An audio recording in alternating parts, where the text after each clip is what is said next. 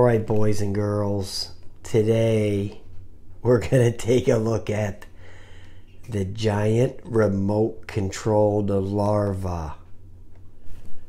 Freak out your friends. Hmm.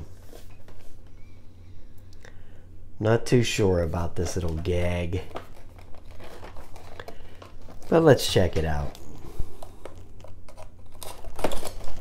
I saw this at Five Below. I went in there today. I, I gotta buy this thing.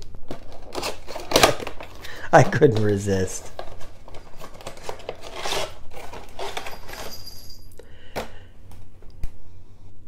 Very simple packaging.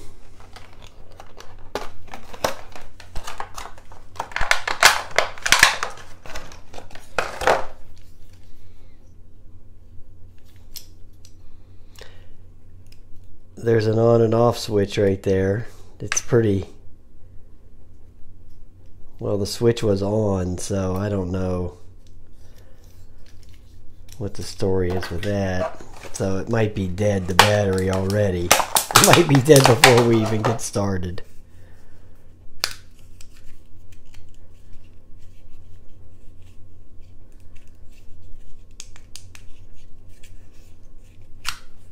Oh no.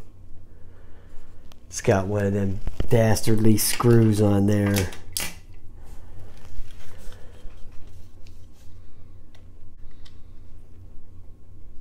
Now I gotta go get batteries.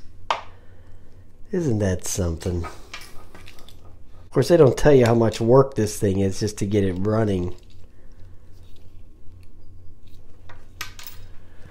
Okay, let me go back to the manual here, which there is none, but it's on the back of the box. Okay, so it takes six of these batteries. The writing on there is so microscopic that bionic eyes to see it. I'd have to go get a magnifying glass. Anyway, let me go get some batteries for this turd. All right, let's check it out. Damn thing. This video is already 30 minutes long. I had to go scrounge up these batteries for this thing.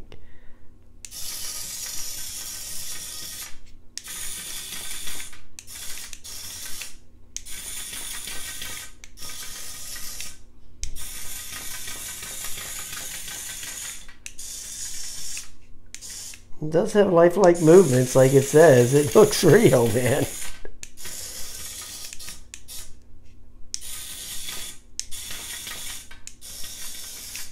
Very easy to control, too. You just, the one button here turns it, and then the other button kind of makes it go straight.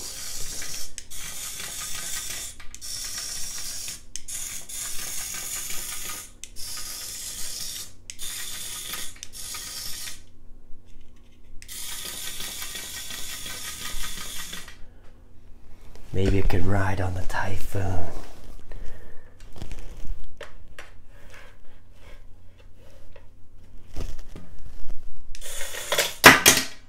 No, it's not riding on the typhoon.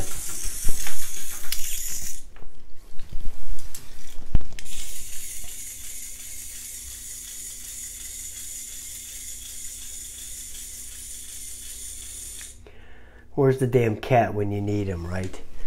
He's probably snoozing somewhere while I'm out here making myself into a fool.